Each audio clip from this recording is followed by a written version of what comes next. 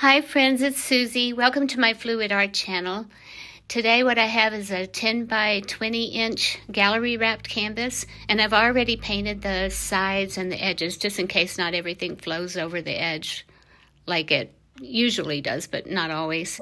So I'm going to use just a, um, a few colors on this one and I'll let you know as I go because I'm doing a voiceover right now and I can't remember exactly which colors I had. But the base is white and it's mixed with Floetrol. And the white is the soft body white that I usually get from Hobby Lobby. And then I mix it with some American Floetrol. So that's going to be the base.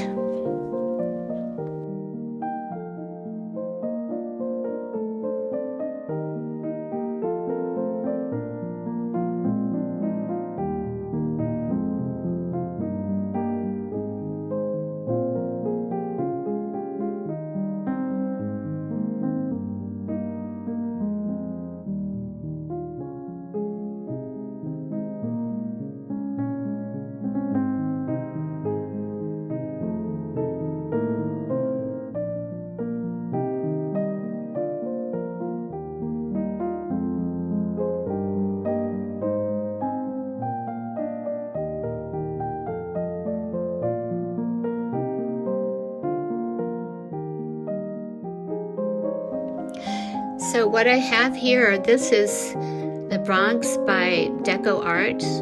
Oh, just went so fast through that. the first one was Bronze by Deco Art. And this is the light blue. I have a few different colors of blue. This is ultramarine blue. Then I'm putting gold. And this is the dark blue, the indigo that I'm putting on first. And then that's the Bronze see what next. And that's the light blue. Is Cerulean Blue by Liquitex. And that's the Ultramarine Blue by Amsterdam. And gold. So it's five colors that I'm using on this one. I'm going to do a swipe with a, a larger piece of plastic so it doesn't take so long.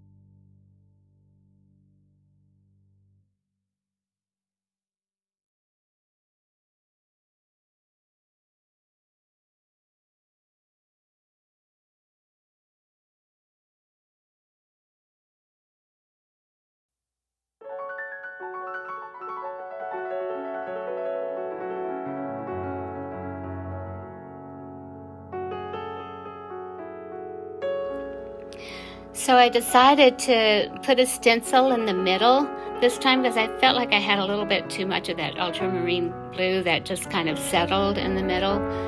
So I wanted to add a little bit more of the blue green by Pebeo to the center area.